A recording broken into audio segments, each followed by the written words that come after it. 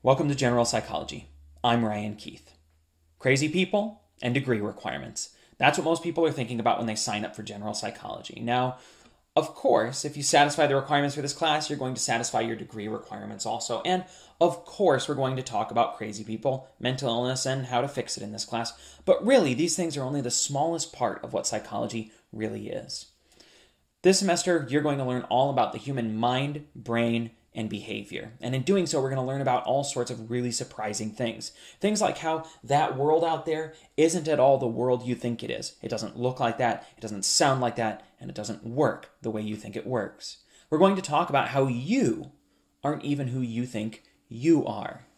That the idea that you have a personality at all, much less the one that you think you have, might all be in your imagination.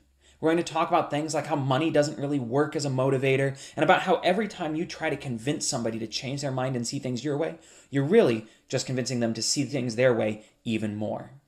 We're going to talk about stuff like how babies are smarter than we give them credit for, and we can see that if we just know how to ask the right questions, and how, speaking of smartness, intelligence tests, IQ tests, are really kind of broken, and that the whole idea of intelligence might be broken too.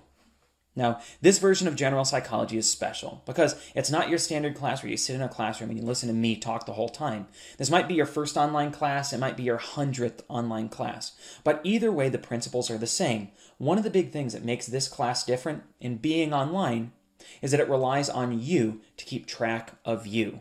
You may have heard this before, but with this being an online class, you're required to spend at least nine hours a week working on this class for every hour you'd normally be in class, plus the extra three hours you'd be in class, which means that every single week you need to plan to spend about 12 hours working on this class, doing things like reading the textbook, watching videos, listening to podcasts, and completing assignments. In addition, you're going to want to make sure that you feel really solid on the Canvas platform, that you feel really good about how to access information in Canvas and get things done. Now, to help you get used to things like how to um, do well in Canvas, how to do well in this class, I've laid out a series of assignments, just like I'll have every single week, except that these ones are focused on doing well in this class.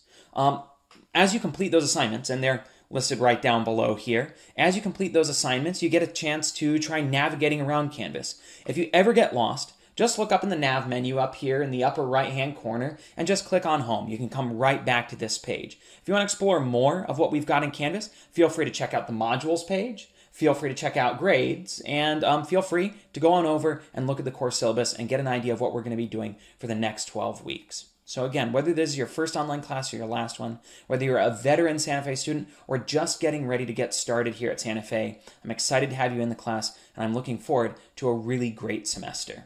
So, get started on working on stuff. I'm looking forward to learning a lot of really exciting stuff with you.